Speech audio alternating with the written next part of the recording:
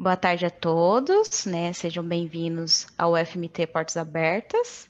Agora daremos é, início é, à, palestra, né? Do professor Dr. Adelmo Cavalho da Silva, pró-reitor de ensino de graduação, né? E o nome da nossa palestra é Graduação na UFMT. Então, professor, deixa à vontade para o senhor é, utilizar a sala, a sala toda sua. Boa tarde a todos e a todas, bem-vindos alunos, bem-vindos docentes, comunidade geral. Meu nome é Adelmo Carvalho da Silva, eu sou professor da UFMT, curso de Pedagogia, graduado em licenciatura em Pedagogia, certo? É um prazer é, contribuir para o projeto Ciência, Tecnologia e Sociedade, coordenado pelo, pelo professor doutor Anderson Oliveira, tá? O projeto UFMT de Portas Abertas, e a minha fala hoje vai ser no sentido de explicar um pouco o que é a graduação na UFMT. No entanto, eu acho necessário fazer algumas perguntas antes de começar a definir o que é a graduação na UFMT, o conceito de graduação na UFMT. Então, eu tenho algumas palavras iniciais. Quem eu sou? Sou professor doutor em educação linha Educação Matemática. Mas antes de chegar a, ao título de doutor, eu passei por vários níveis: tá? educação infantil, ensino fundamental, ensino médio, ou seja, a educação básica. Depois fui para uma universidade fazer uma graduação. Foi quando eu me tornei graduado. Então, graduado, ser graduado é um nível? Que se conquista, um título que se conquista, nível, título que se conquista na universidade, fazendo um curso superior. Quais são os limites e as possibilidades enfrentados na graduação? Limites. Tá? Você conciliar trabalho, família, lazer, crescimento, desenvolvimento intelectual, moral, artístico. É uma fase que nós estamos com os, com os 17, dos 17 aos 20, aos 22 ou mais, né? dos 30 aos 60 ou mais, dos 60 aos 90. Afinal, produzir conhecimentos na universidade não é por idade, e sim por capacidade mental. Ou seja, enquanto estivermos tá, com o nosso pensamento com, com, eh, em desenvolvimento, com o nosso cérebro em, em desenvolvimento, poder, poderemos aprender. Tá? Quais são os outros níveis de formação? Eu já disse que tem uma educação básica, graduação, também temos o nível de mestrado e doutorado, que nós chamamos de pós-graduação. Mas o nosso objeto aqui hoje de discussão é a pós-graduação. Qual é o conceito de, desculpe, o nosso foco de discussão é a graduação. Tá? Qual é o conceito de graduação? Graduação é o nome dado ao primeiro nível da formação universitária. Ou seja, tá? o ensino superior forma dois níveis: graduado, graduação e pós-graduação, ou seja, início e continuidade. Então, o primeiro nível é chamado de graduação. Ao concluir o curso, o diploma universitário assegura ao graduado o direito de exercer a profissão escolhida realizar pesquisas ou a docência sobre a área de estudo. Então, eu posso.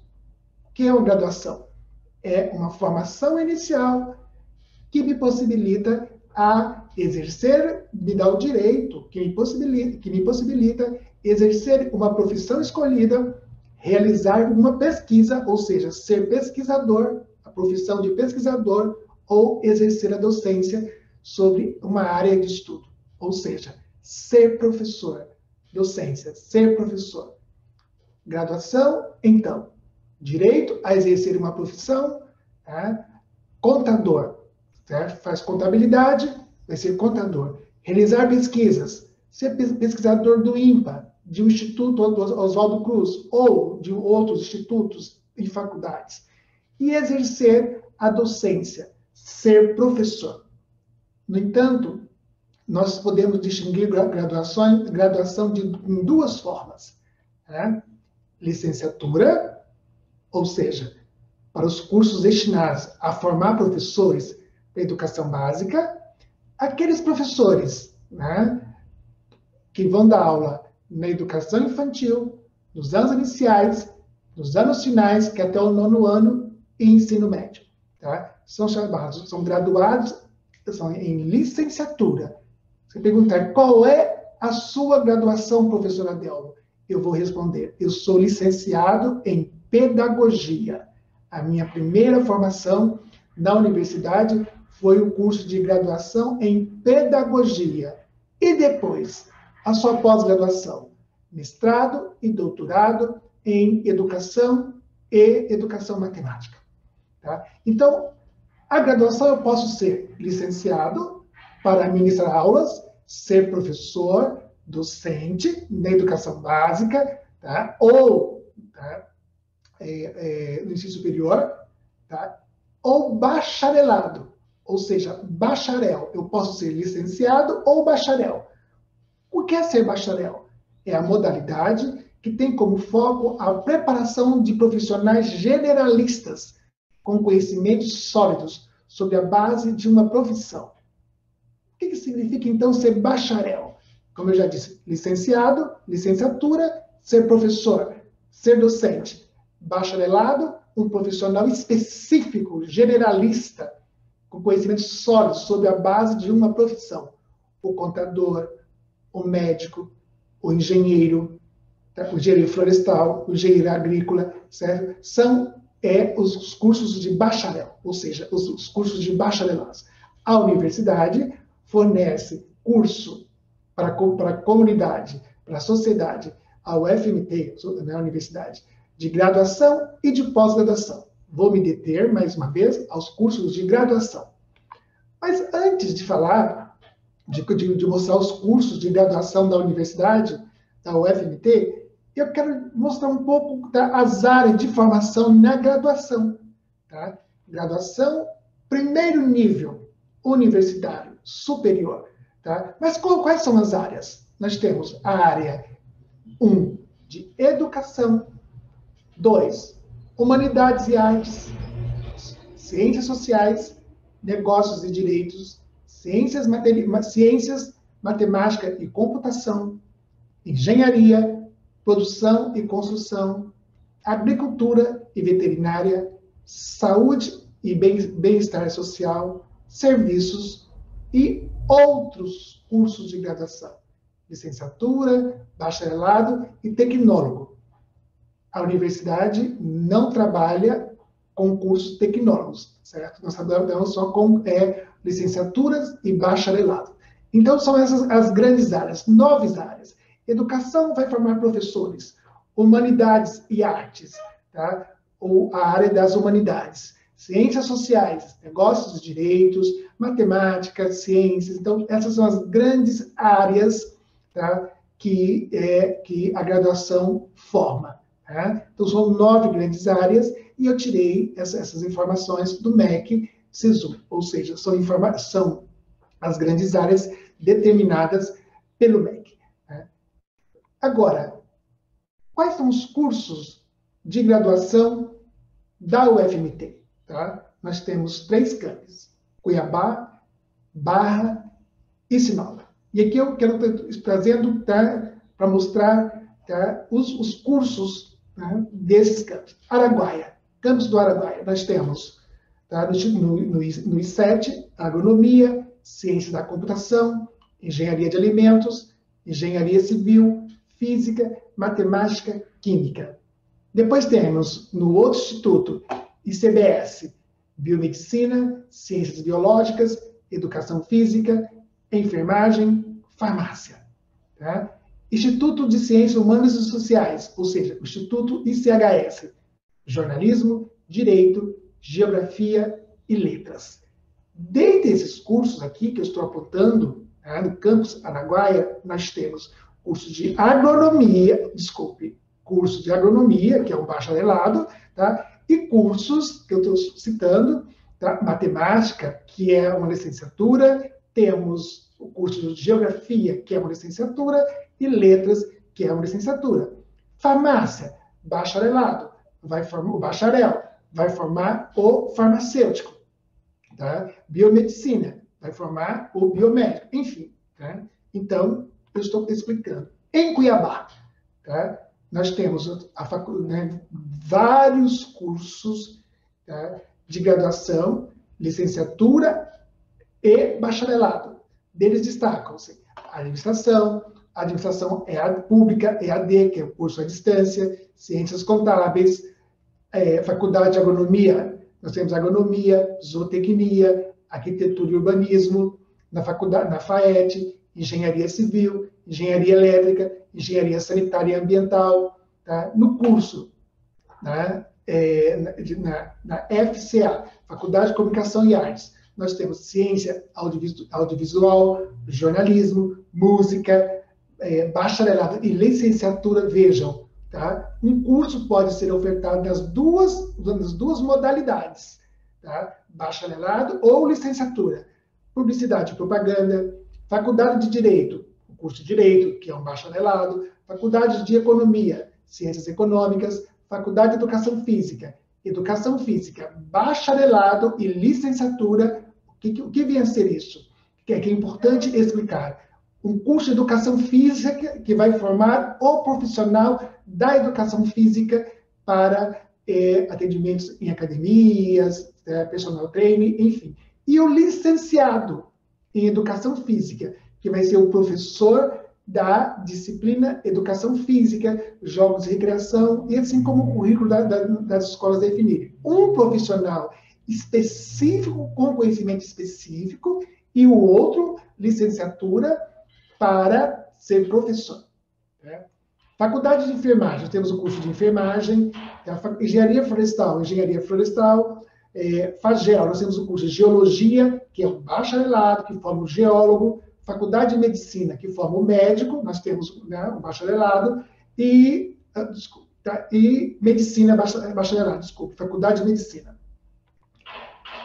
Campus Cuiabá ainda, nós temos medicina, FAMEV, temos medicina veterinária, FANUT, ciências e tecnologias de alimentos, nutrição, tá? no ICT, nós temos estatística, que é bacharelado, matemática, licenciatura, matemática EAD, também licenciatura, mas à distância, e o primeiro é presencial, tá? Química, bacharelado, química, licenciatura. Então vejam que você pode se tornar um profissional para conhecimento específico, bacharelado, ser químico de laboratório, enfim, outras e outras atividades, ou ser um professor de química da disciplina de química nas escolas.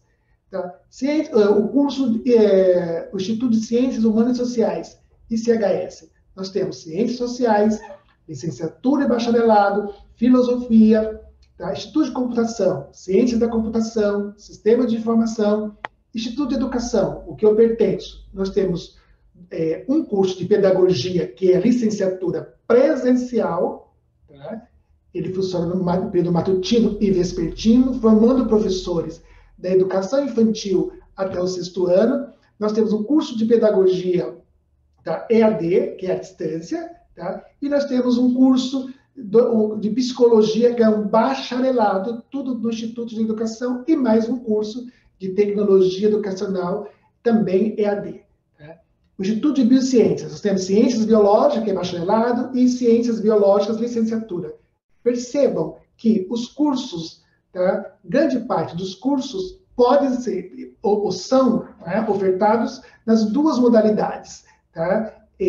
Bacharel, formar profissional específico, conhecimento generalista, e o docente, que é o caso da física. Tá? Estudo, Instituto de Geografia, nós temos o curso de Geografia, bacharelado e licenciatura. E o curso de História, Linguagens, que é o IL.